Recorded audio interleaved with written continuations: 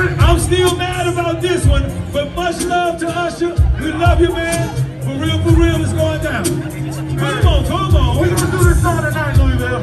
Shout out to the boy Usher man.